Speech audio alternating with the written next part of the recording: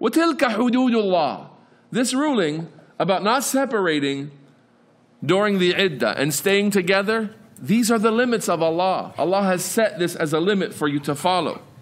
وَمَنْ يَتَعَدَّ حُدُودَ اللَّهِ فَقَدْ ظَلَمَ نَفْسَهُ And whoever transgresses the limits that have been set by Allah, he, he oppresses his own self. It's dhulm. He's oppressing someone. He's oppressing himself. Here's the ta'leel ilahi. Here's the divine explanation of the wisdom of this ruling. La tadri. You don't know. La Allah yuhdithu ba'da dhalika amra. You don't know that perhaps Allah will change something and bring about some affair that you don't know of. Mankind has to remember that his Lord knows best and that Allah Ta'ala has a plan and it may include for him that he spend his entire life with this woman that he is displeased with today. So let him have good thoughts about his Lord and say, My Lord legislated for me three months or an iddah, whatever that iddah is that's relevant to the woman I'm married to.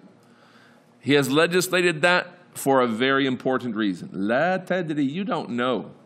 لعل الله يحدث بعد ذلك أمرا. That perhaps Allah will bring about a matter after that, meaning something that you can't foresee, something that you wouldn't predict. That's the first verse of Surah Talaq, of course. Wallahu ya'lamu wa antum la ta'lamun. Allah knows, but you don't know. Also, Allah Ta'ala commands His Prophet Sallallahu Alaihi Wasallam to ask the people this rhetorical question. قُلْ أَأَنْتُمْ أَعْلَمُ أَمِ اللَّهِ Say to them, O Muhammad, are you more knowledgeable or is Allah? These verses are in Surah Baqarah, the 216th verse, and the 140th verse. Reminders that we don't know all of these matters. So a man may be absolutely sure, I'm done, I do not want any more marriage with this woman. I am through, I'm done. And I am sure, absolutely, I want to move on with my life. So let her go back to her parents' house. Be patient.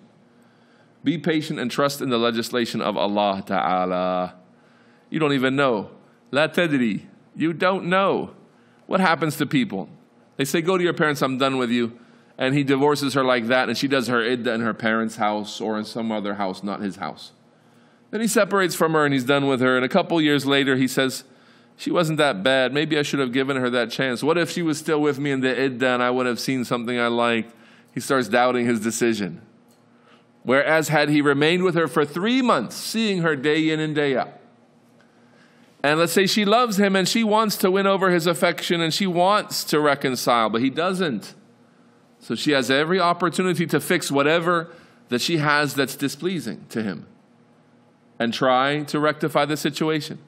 Day in and day out, she's decorating herself, she's beautifying herself, she's trying to cook, she's trying to do things to bring them back together. And each and every day goes by and he is not interested. Three months for normal women with a menstrual cycle who are not pregnant, three menstrual cycles go by like this. Three moons go by.